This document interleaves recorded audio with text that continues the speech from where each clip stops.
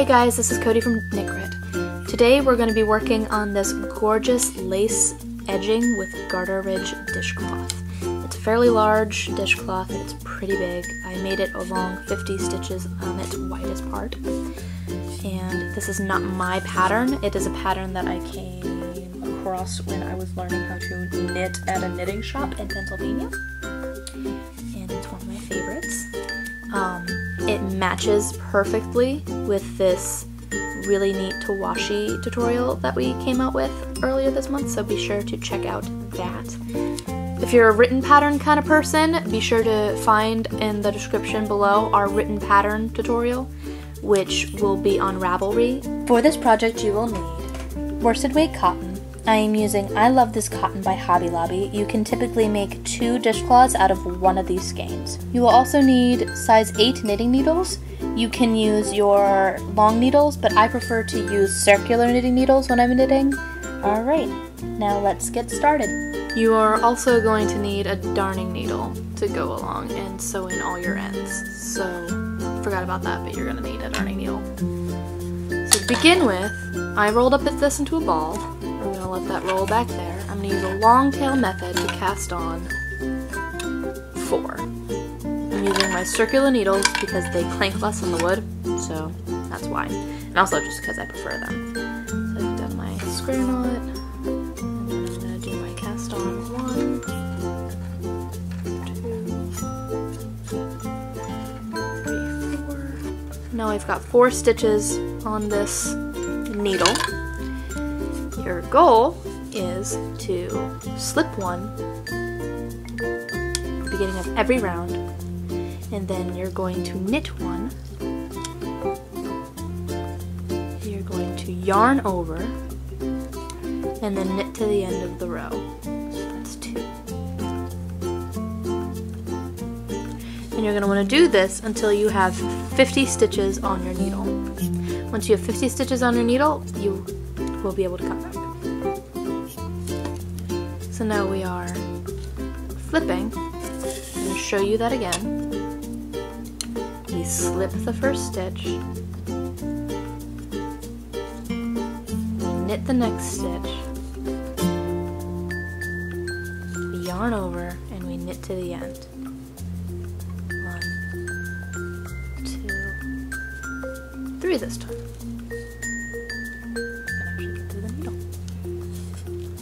three this time. Flip again and we repeat. We do this until we have 50 stitches on our needle. So we're 10 repetitions in and you can already see the shape starting to form. This is the corner of the dishcloth and we keep just going that way. We just keep going in the, that direction. And so we just slip, knit, yarn over, and knit to the end. Each row gets longer as you go, making the dishcloth wider. If you wanted a wider dishcloth, you could very easily just take it into being 70 stitches or even 100 stitches. Just keep going and follow the repetition. You can just keep going. And you will over here go over the slip stitch, just go over it and knit it like any other stitch. It's a little awkward, but you can do it. Alright, I'll see you when we get to 50 stitches.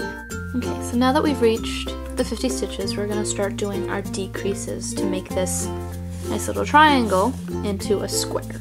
How you're going to want to do that is you're going to want to slip this stitch, knit two together, yarn over in the middle between, and then knit two together. You're going to continue just knitting to the end, and then you're going to repeat that until you only have four stitches left. Slip, we knit two together,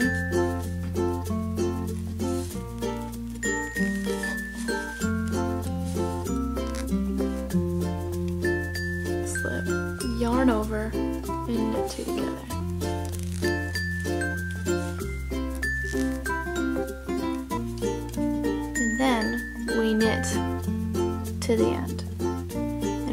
This until we only have four stitches left. We are decreasing one stitch every single round.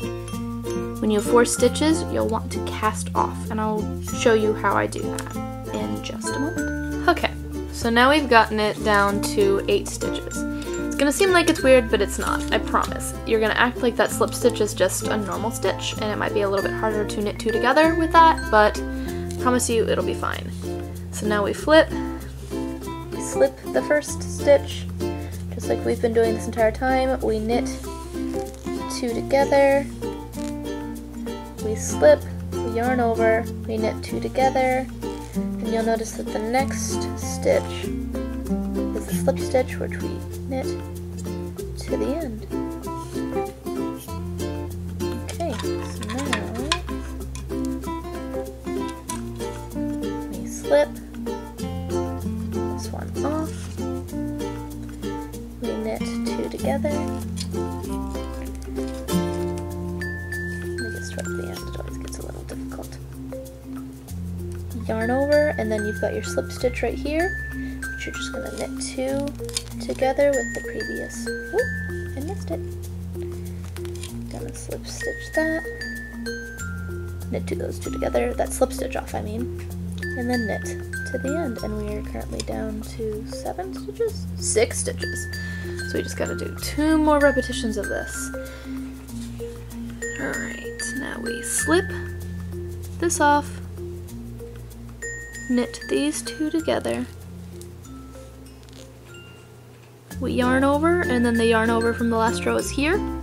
So we're gonna knit that yarn over and that stitch together off, and then we knit one, we're down to six, I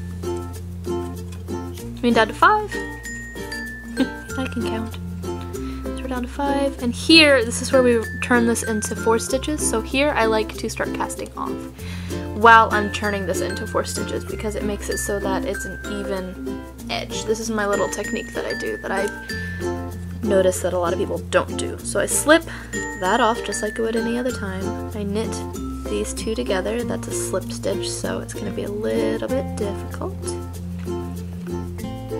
So let's try to widen that up a little bit. There we go. Knit those two a little tight together. And now I take this previous stitch and I bring it over. And I also want to yarn over and then I'm going to go over that yarn over with my previous stitch. I'm gonna knit these two together and then take the last stitch and bring it over. So now I create this nice big loop. I cut it. And then I feed it. Feed this tail through my big old loop. And we're done. Notice that there's a nice little hole right there that caps up the edges. So now we take our darning needle and we sew it in and then we're done Nice big dishcloth.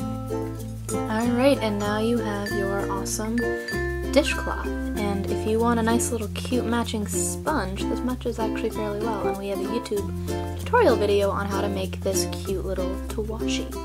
So be sure to check in the description for a link to that. We'll also link it at the very end of the video.